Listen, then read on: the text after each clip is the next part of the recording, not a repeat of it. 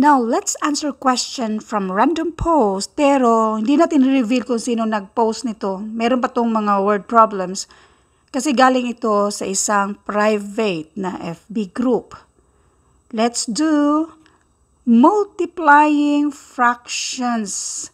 Numerical ability, multiplying fractions.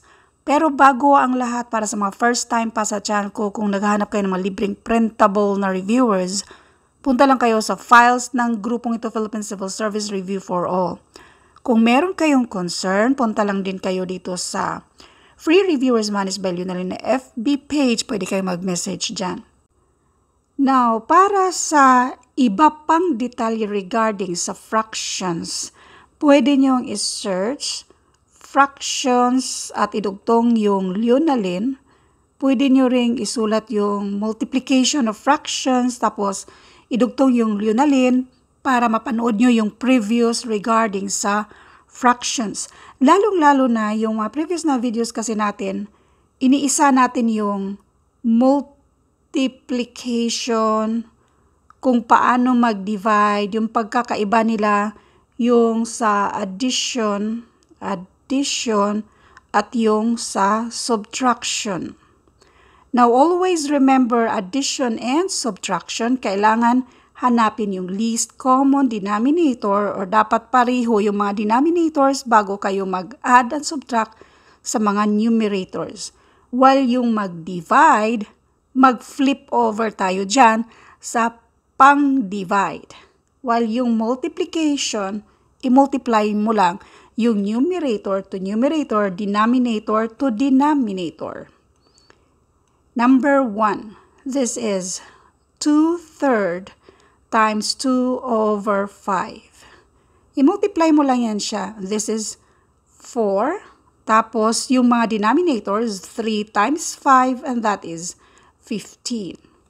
Para ma-simplify yan, hanapan natin ang greatest common factor. Kaso lang, greatest common factor dyan sa dalawa ay 1. So, yan na yung final na answer sa number 1.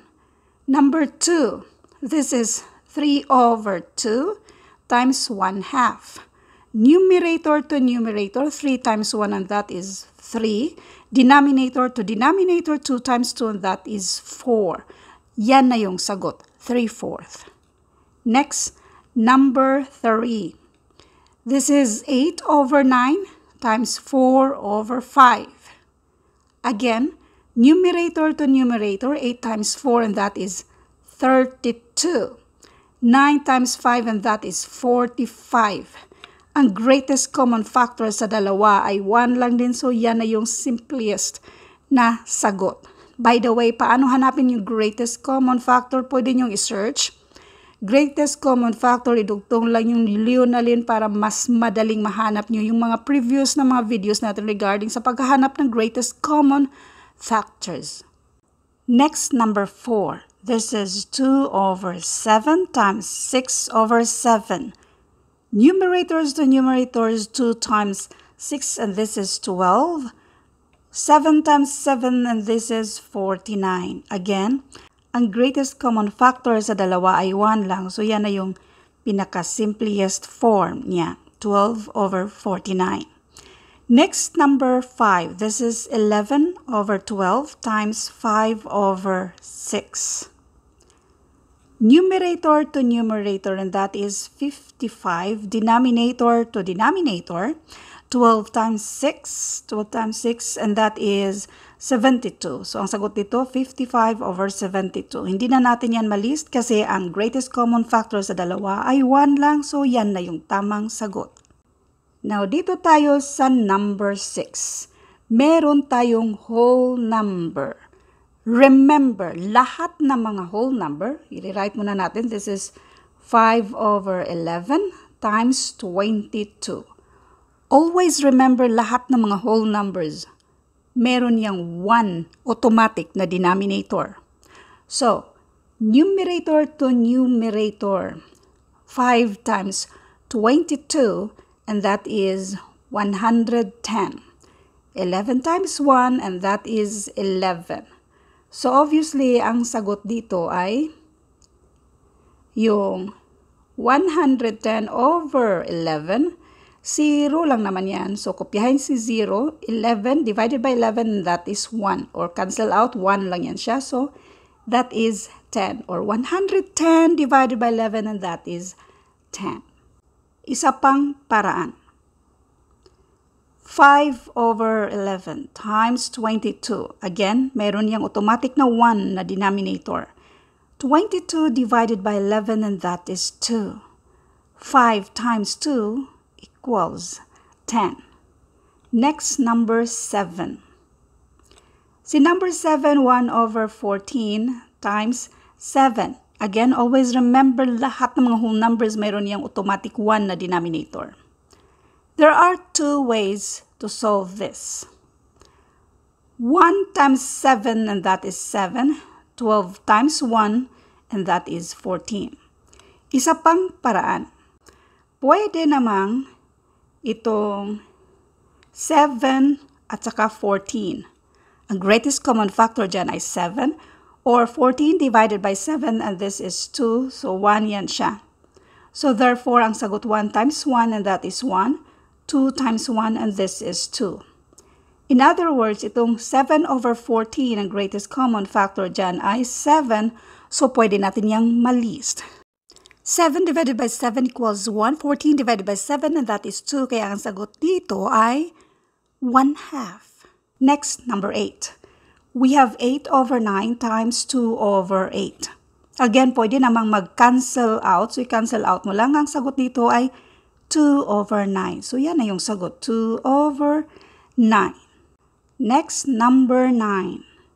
We have 5 over 9 times 6 over 10 numerator to numerator and this is 30.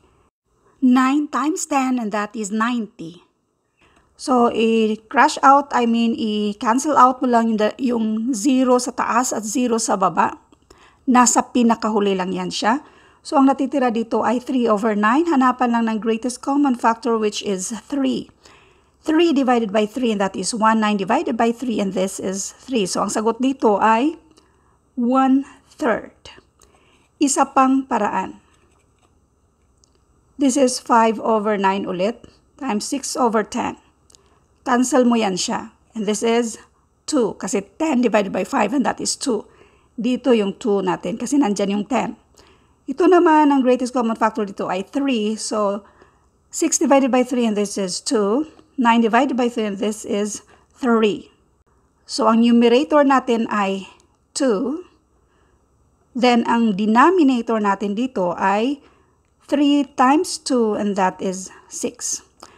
Now, dito sa dalawang greatest common factor ay 2. So, 2 divided by 2 and that is, uh, wait, 1.